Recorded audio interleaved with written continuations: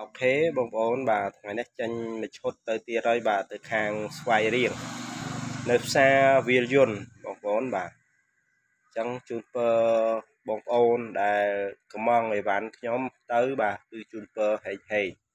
ហើយអីវ៉ាន់នេះគឺខ្ញុំធានាឲ្យគុណភាពល្អបងប្អូនណាគឺធានាដោយសារកត្រៃនេះគឺខ្ញុំប្រើខ្លួនឯងផ្ទាល់រយៈពេល3 4ឆ្នាំមកហើយ ខ្ញុំឃើញថាគុណភាពល្អបានខ្ញុំយកមកលក់បងប្អូនដើម្បីចែកជូនលក់ឲ្យបងប្អូនហ្នឹងយកទៅប្រើប្រាស់គឺងាយស្រួលកុំឲ្យទិញទៅហើយគុណភាពប្រើអត់កើតបើចំពោះកត្រៃខ្ញុំនេះគឺខ្ញុំធានាគុណភាពឲ្យបាទល្អប្រើបាទម៉ូទ័រមុតអថ្មកាន់ហើយមានលេខកន្លះបាទត្រៃកេមីនេះគឺមានលេខកន្លះទៅបាទនិយាយទៅមួយឈុតនេះគឺអឺគាត់យកអត់យកមកឈុត ទាំងអស់ហ្មងទេដោយសារគាត់មានសម្ភារៈខ្លះអញ្ចឹងគាត់សូមយកតែគីឡូទឹកមួយហើយកត្រៃកេមីមួយគីឡូម្សៅ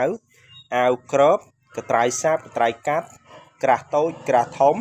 ហើយនឹងដងឡាមគ្នាបគៀបបែកចាយសក់គាត់យកតែប៉ុណ្ណឹងទេបាទហើយក៏សូមថ្លែងអំណរគុណដែលគាត់ជឿជាក់នៅលើ